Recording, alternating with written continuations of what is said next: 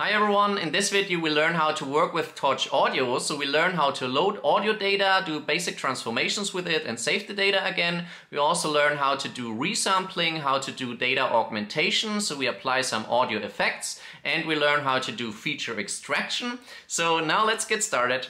Alright, so first let's have a look at how we install Torch Audio and we can do it the same way as we're installing Torch and Torch Vision. So we can either say pip install Torch Audio or we can say conda install Torch Audio. And one thing I want to mention is that right now Torch Audio is not supported on M1 Macs, but for this we can just use a Google Colab like I'm using today. So in there it works just fine. And then I also want to mention that they have pretty good official documentation. So the code that I'm showing today is inspired by the official docs.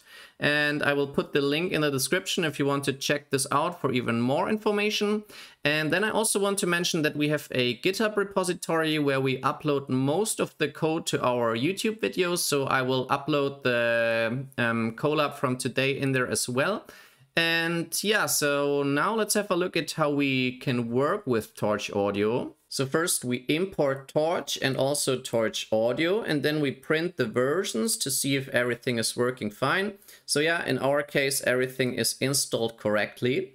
Then we also import a few other helper modules. So we're also going to work with the requests module to download some audio files. And here I have different URLs to audio files that are uploaded to S3 buckets. So what I'm doing here is I create this um, folder, the assets folder, and then I have a helper function that will um, call this URL. So it will say requests.get URL, and then it will write the content of this URL into a file. So this will basically download the files and store them locally. So if we run this and then have a look at our folder structure in our Colab, then here we find this assets folder and in there you should find four different files. So for example, we have an MP3 file and then we have three WAV files. So this is working.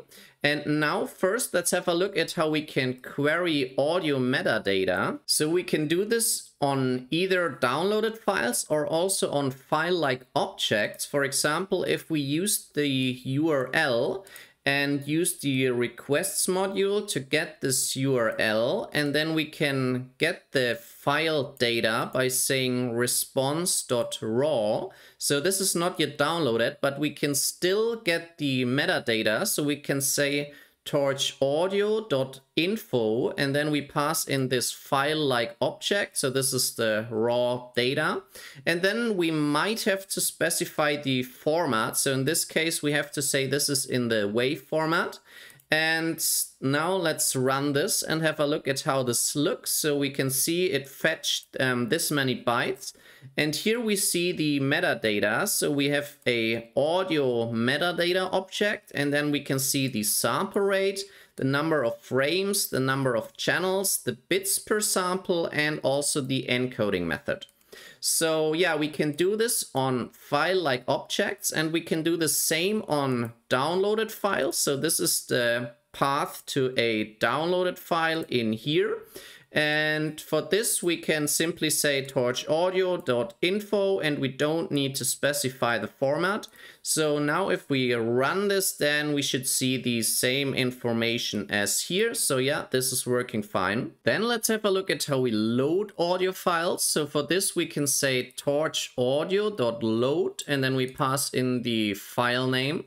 And this will return two things that we can unpack here. So this will return a waveform object and a sample rate. So the sample rate is just an integer and the waveform object is a PyTorch tensor and the values are normalized in the range minus one to plus one.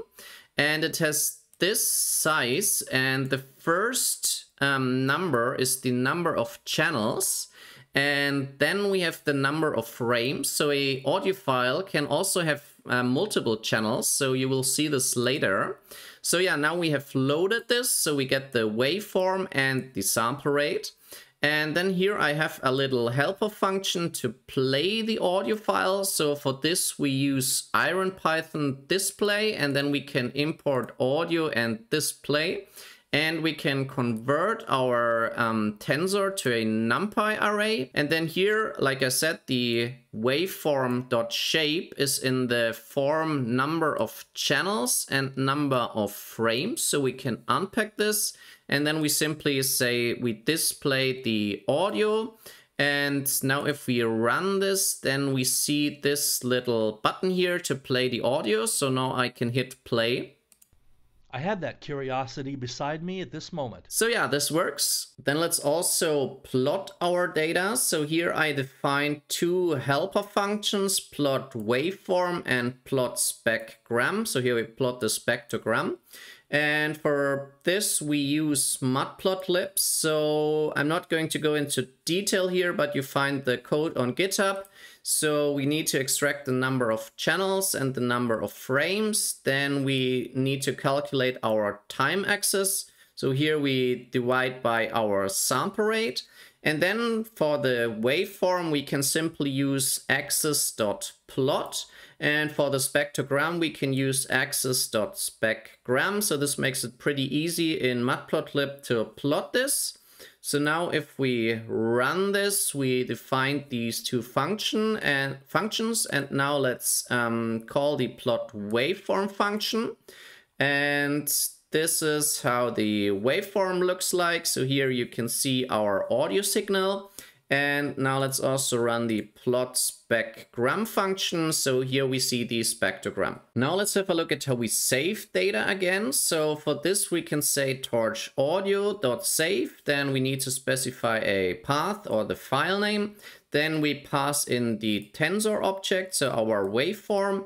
Then we also pass in the sample rate. And then we could use optional parameters. For example, we could specify the encoding, then the bits per sample. So by default, this is 32.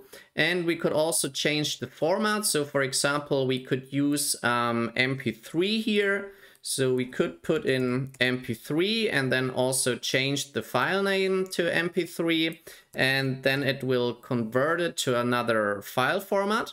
So now if we run this and then have a look at our folder. So yeah, in here now we have our new saved file. And then let's quickly test this again by loading our um, saved file again. So here we load the metadata by saying torchaudio.info then we say torch audio to dot load and then we can play the loaded file again.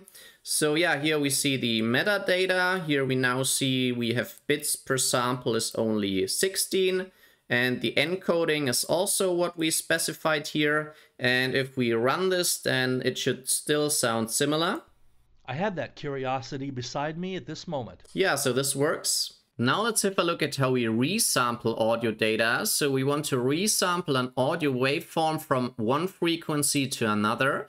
And for this, we could use two different approaches. So we can use torch audio.transforms or torch audio.functional. So here we import both of them. Then we load our um, example file again. And here we have the original waveform and the original sample rate. So I think by default, this is 44,100. So then let's define our new resample rate. So in this case, we want to have 32,000. And then the first approach uses the transforms. So here we create a resampler object. So we say t.resample. Then we need to pass in the original sample rate and the new one. And we also give it the data type. And then after having created this resampler, we need to call this. So we can then call resampler with the waveform, and this gives us the resampled waveform. Or the second approach is to use directly f.resample and then again the original waveform and sample rate and the new sample rate. So functional.resample will calculate it on the fly. And with this transforms.resample, we pre-calculate a few things. So this could be faster if you want to resample multiple waveforms with the same configuration, um, but otherwise both are just fine. And then let's play all the resampled files as well. And let's run this and have a look at how this sounds. So this is the original one. Then here we have the first resampled one. And the second one. And yeah, I think they all sound pretty similar. So in order to find the differences, we have to actually have a look at the data. But yeah, basically this works. And now let's also have a look at some different parameters that we could use for the resampling. So one thing we could pass in is the low pass filter width. So here, the larger the value, the sharper and the more precise is our filter, but then it's also more computationally expensive. So the default filter width is 6 and yeah, like I said, we could increase this now for better results. Then we also could use the roll-off value. Um, this means a lower roll-off reduces the amount of aliasing, but it will also reduce some of the higher frequencies. So here the default is 0.99. So for example, here we could use a lower value and say 0.80. And then we also could use a different window function. So here, this is the default value, but yeah, here you can play around with different ones. And yeah, for the exact details, I can point you to the official documentation. So there you can find more information about these parameters. Then let's have a look at different audio data augmentation methods. So we have a look at how we apply effects and filtering, how we can add background noise and how we can apply a different codec. So for applying effects, we use the torchaudio.sox effects module. And here we have two different options. So we can apply the effects to a file or we can apply the effects to a tensor. And the way it works is that we define different effects as a list and then we call torch audio.soxeffects.apply effects file. And here we give it a path, so the file name, and then we pass in the effects.